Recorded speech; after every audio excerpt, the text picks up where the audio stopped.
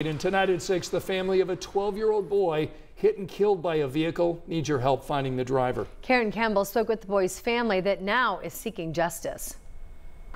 On the near west side of Indianapolis, down this alley near North Elder Avenue and West Michigan Street, tragedy struck. He left my sister's house on Friday the 26th at 6 o'clock in the morning and he was found dead supposedly two hours after, supposedly in this alley. A family now on a relentless pursuit for justice after IMPD says 12 year old Montarius Crow was hit by a vehicle Friday morning and died. You don't leave a 12 year old child in an alley. You don't leave your child in an alley. Crow's aunt, Zakiah Cole Morris, says the family wasn't told until Monday. That's because Crow didn't have any ID and was listed as a John Doe. I don't know who hit him.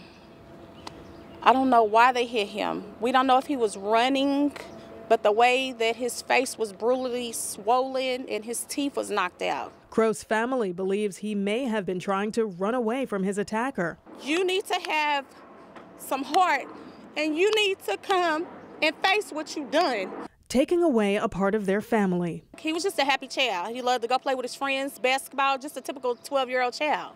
A child taken too soon. He didn't even get a chance to live half of his life. But for you to, whoever you are, to run him over and leave his body for dead in the alley, you have to answer to God.